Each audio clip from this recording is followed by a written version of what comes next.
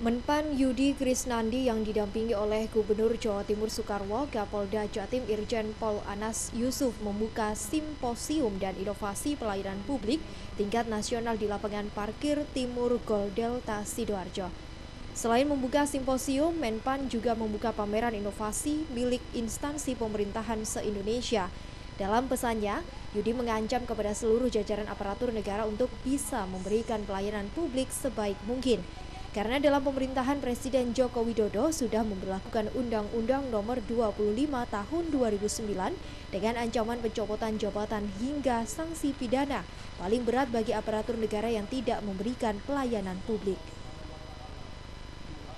Bagaimana tadi yang sudah disampaikan oleh Gubernur Jawa Timur ya, apabila pelayanan publiknya ini kita tingkatkan, kita perbaiki, aparatur sipil negaranya semakin memberikan pelayanan yang baik di kantor-kantor kecamatan, kantor-kantor kelurahan, puskesmas puskesmas, tempat pembuatan SIM, STNK, tempat bayar pajak, dan pelayanan-pelayanan pemerintah lain pada masyarakat ini semakin baik dan transparan, maka ya, yang namanya kekhawatiran kita terjadinya korupsi itu bisa kita cegah.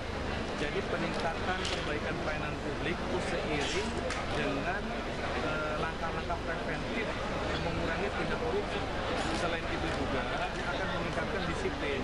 Nah di dalam tahun 2015 ini di awal pemerintahan Bapak Presiden sudah dicanangkan kita tahun pelayanan publik sehingga uh, seluruh instansi-instansi pemerintah yang kita dorong untuk memiliki inovasi-inovasi pelayanan publik yang semakin baik dan semakin mendekatkan pemerintah dengan masyarakatnya yang semakin memberikan nilai manfaat yang besar pada masyarakatnya lalu juga mengurangi berbagai macam pungutan-pungutan dalam urusan-urusan administrasi masyarakat dan kalau itu masih silakan dilaporkan.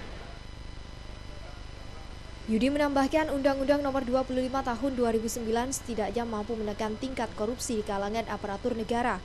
Yudi menambahkan undang-undang ini akan dikawal hingga mampu menertibkan aparatur negara dalam memberikan pelayanan publik sebaik-baiknya kepada masyarakat sesuai dengan semboyan revolusi mental.